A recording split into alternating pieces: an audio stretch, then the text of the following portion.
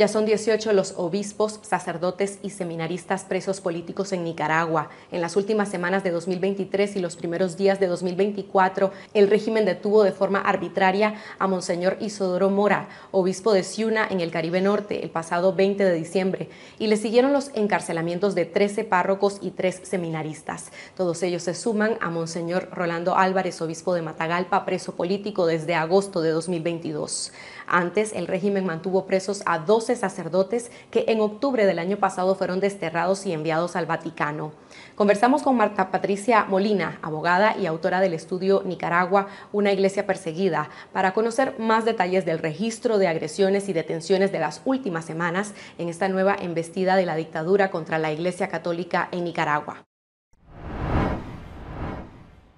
Marta Patricia, en las últimas semanas aumentaron a 18 los religiosos encarcelados de manera arbitraria por el régimen. Estamos hablando de dos obispos, 13 sacerdotes y tres seminaristas. ¿A qué atribuís esta ola de represión en este momento?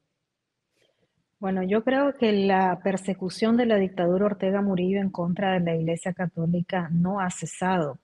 De hecho, el año 2023 fue un año catalogado como el más sanguinario porque en este quinquenio que lleva el estudio Nicaragua una iglesia perseguida de estar recopilando toda la información y sistematizándola, es en el que más hemos notado agresiones, este, persecuciones y todo tipo pues, de asedio en contra de la iglesia, este, sumando 307 agresiones sin meter pues otras eh, ataques y prohibiciones como las, de, las que ocurrieron en Semana Santa y las que también se cometieron en el Día de los Difuntos y ahora pues eh, la última semana de diciembre que observamos estos secuestros eh, arbitrarios e inconstitucionales que se dieron contra los sacerdotes. No sabemos por qué, por qué lo han hecho y yo lo que, lo que especulo es porque en algún tiempo, antes de que la conferencia episcopal entrara en silencio prudencial, ellos estaban hablando y también diciéndole directamente a la dictadura eh, de las vulneraciones de derechos humanos que estaban cometiendo. Entonces yo más que todo lo catalogo, a, como popularmente lo decimos en Nicaragua, como una pasada de cuenta a lo que hicieron ellos en el pasado, que no está nada mal. O sea, lo único que dijeron fue la verdad eh, a la luz del Evangelio de todo lo que estaba haciendo mal la dictadura, que son los asesinatos, las persecuciones, las desapariciones de los ciudadanos y eso. Y paralelamente también creo que es por el caso de Cáritas, que la Policía Nacional nunca dijo en qué había quedado y entonces deben de estar tramando algo para perjudicar y criminalizar más a los sacerdotes dónde están estos religiosos detenidos, qué se sabe del paradero de ellos, de su integridad física, cómo se encuentran. Eh, tenemos algún tipo de información que fueron trasladados a la modelo. Lo único que se sabe es que con certeza que todos fueron sacados prácticamente como delincuentes, ya sea de las iglesias o de sus respectivas casas curales. Eh, no se les presentó orden de captura, llegó como siempre la policía intimidando y secuestrándolo. Ellos están en este momento en un estado de desaparición forzada, que es lo típico que utiliza la dictadura siempre en estos casos de criminalización y persecución en contra de la iglesia. A mí lo que me preocupa mucho es la salud de la mayoría de los sacerdotes, eh, todos casi son de la tercera edad, eh, por ejemplo, Monseñor Ismael Serrano, un, sacerdote de más de 70 años que padece múltiples enfermedades crónicas, entre ellos neurológicas. Eh, él sufrió un derrame cerebral hace, hace poco tiempo y entonces en las cárceles de Nicaragua, donde se practican más de 40 mecanismos de tortura, tratos crueles, inhumanos y degradantes, o sea, él no va a estar bien y en cualquier momento cualquiera de ellos puede sufrir este, algún, algún problema, alguna lesión, hasta la muerte estando presos. ¿Cuál ha sido el impacto en la feligresía católica tras estas detenciones de sus párrocos y de figuras tan prominentes de la iglesia en Nicaragua? La feligresía está unida en oración, están muy preocupados porque se han quedado sin sus párrocos, eh, están, continúan llegando a la iglesia A diario me llegan denuncias de las iglesias donde quedaron sin curas por estos secuestros, diciéndome que la policía está llegando a intimidar, a tomar fotos y videos, entran con su traje policial. Antes ellos como que respetaban un poco y entraban vestidos de paramilitares o mandaban a los CPC, ahora están enviando directamente a la policía a intimidar. Entonces ellos se encuentran atemorizados, pero al mismo tiempo unidos en oración y esperando pues que la arquidiócesis de Managua, que es donde pertenecían la mayoría de los sacerdotes, eh, pongan a otro sacerdote para mientras pues eh, regresen eh, sus respectivos párrocos. Recordemos que la iglesia es una institución que lleva muchísimos años,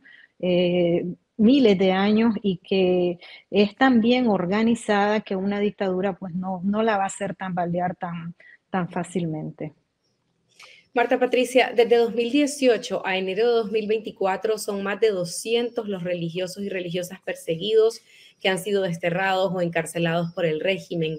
pero la gran mayoría de estas agresiones, como decía, se han registrado el año pasado. Respecto a esto que mencionabas acerca de cómo funciona la iglesia, esa organización, ¿cuántos sacerdotes y religiosos quedan en Nicaragua ante esta situación? Fíjate que ese es un dato que yo no lo puedo brindar con precisión porque hasta hace poco que teníamos acceso a la página web de la Conferencia Episcopal de Nicaragua, que por diversos motivos dejó de funcionar, la CEN nunca explicó por qué ocurrió, pero de ahí extraíamos nosotros eh, información para el estudio Nicaragua, una iglesia perseguida, y aunque sabíamos que no estaba actualizada, así era como un referente. Entonces, en Nicaragua, basándonos en esa cifra que proporcionaba la CEN, existían aproximadamente este, 500 sacerdotes,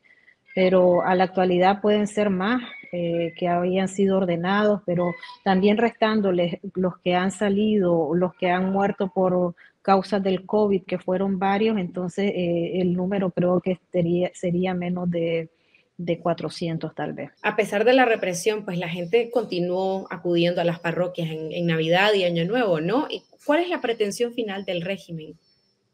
Yo siempre he pensado y también he tenido la teoría o la hipótesis de que el objetivo central de la dictadura Ortega Murillo es aniquilar por completo a la Iglesia Católica de Nicaragua, o sea, desaparecerla, que no quede ningún este, rastro de, ella. Eh, lógicamente es algo que nunca lo van a lograr, por lo que ya les, les había dicho, pero sí, eh, esto eh, lo, que, lo que me hace suponer y también decir esta teoría son las más de 700 agresiones que se han documentado en Nicaragua, una iglesia perseguida, y es que por todos los lados está atacando la dictadura a la iglesia. Ellos la persiguen, inmovilizan las cuentas, confiscan propiedades, están 24 horas al día. Imagínate que en este momento ellos están haciendo visitas a los eh, laicos que están administrando o que tienen la llave de las capillas, porque a veces los sacerdotes no están presentes todo el tiempo en una capilla porque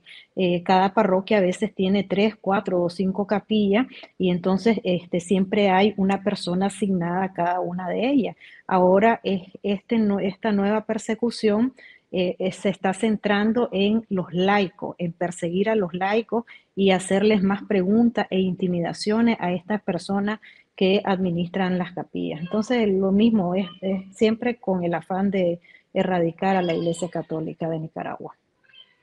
Y los jerarcas de la Iglesia, la conferencia episcopal, ¿qué podrían hacer ante esta fuerte represión dirigida hacia su clero? La iglesia es la que está siendo atacada ferozmente por la dictadura en este momento. Yo creo que la conferencia episcopal, aunque nosotros los laicos querramos que, que, se pronuncien, que hablen, porque nosotros siempre queremos escuchar la voz de nuestros pastores, pero ya sabemos que el que se pronuncia y tenemos a, al, Monseñor de, de, Ciuna, que habló y, dijo que iban a orar por Monseñor Rolando José Álvarez, e inmediatamente lo encarcelaron, porque esa es la única tres salidas que da la dictadura, el destierro, como sucedió con Monseñor Baez, el encarcelamiento, este, como ocurrió con Monseñor Rolando José Álvarez, y el tercero, pues es la muerte que en cualquier momento a cualquiera de ellos los puede asesinar, como hicieron en el pasado con el padre este, Pupiro, que nunca la policía dijo realmente qué es lo que había sido,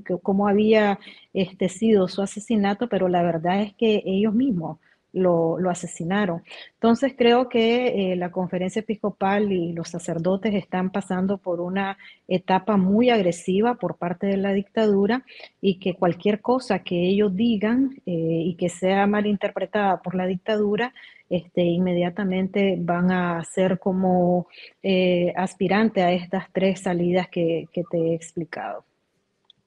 El Papa Francisco en los últimos días ha llamado en dos ocasiones a un diálogo diplomático respetuoso. ¿Qué se puede esperar? ¿Otra deportación masiva como la que ocurrió en octubre cuando desterraron y mandaron al Vaticano a 12 sacerdotes que estaban presos también injustamente?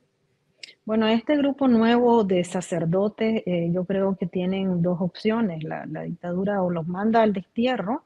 como ha hecho con los otros dos grupos, o continúa un proceso de criminalización y lo condenan a, qué sé yo, como hicieron con el señor Rolando José Álvarez, a 26 o a más años este, de prisión. La verdad es que este, el Papa Francisco como jefe máximo, el jerarca máximo de la Iglesia Católica y también como jefe de Estado del Estado Vaticano, nunca vamos a esperar de él por su formación religiosa y por lo que representa, por su investidura, eh, palabras de odio, palabras de guerra. Palabras de odio y palabras de guerra las tenemos de los delincuentes, eh, Ortega Murillo, pero el Papa Francisco siempre vamos a esperar y escuchar palabras de paz y ese llamado al diálogo, un diálogo sincero. Lo que pasa es que se lo está pidiendo a un delincuente, este, que lo único que quiere este delincuente es imponer eh, sus ideas y decirle a la comunidad internacional que acepten esta dictadura dinástica que ellos están programando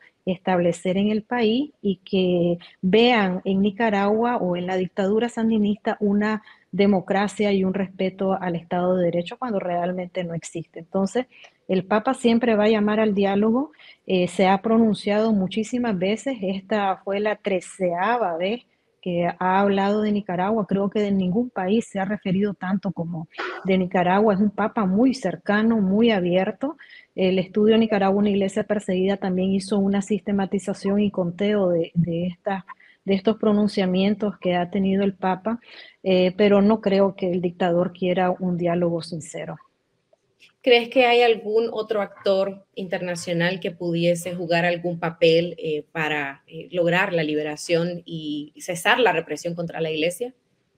Bueno, yo creo que en este momento la dictadura tiene un control absoluto eh, al interior del país porque tiene a los paramilitares, a la policía y a los miembros del ejército respaldándolo. Y pues a la comunidad internacional yo la miro como por un lado, interesada en estar condenando a la dictadura Ortega Murillo, pero por el otro lado las están, lo están financiando. O sea, tienen una doble cara que en este momento pues no, no beneficia al pueblo nicaragüense, que es el que está siendo más sufrido y que no puede protestar porque inmediatamente sale el ejército a, matarnos. Pero yo creo que nosotros, eh, los que nos encontramos en el exilio y también los medios de comunicación que tienen una gran responsabilidad en estar anunciando y denunciando todo lo que sucede en Nicaragua, debemos de exigir a la comunidad internacional eh, que que tome y adopte medidas contundentes, porque a grandes males, grandes remedios. Daniel Ortega no es un delincuente común y corriente que se roba una gallina,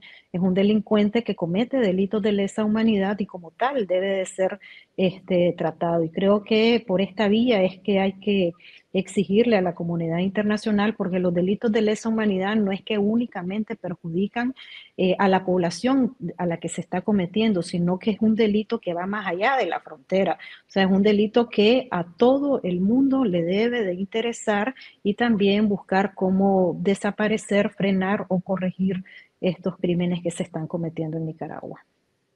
Gracias, Marta Patricia. A ustedes.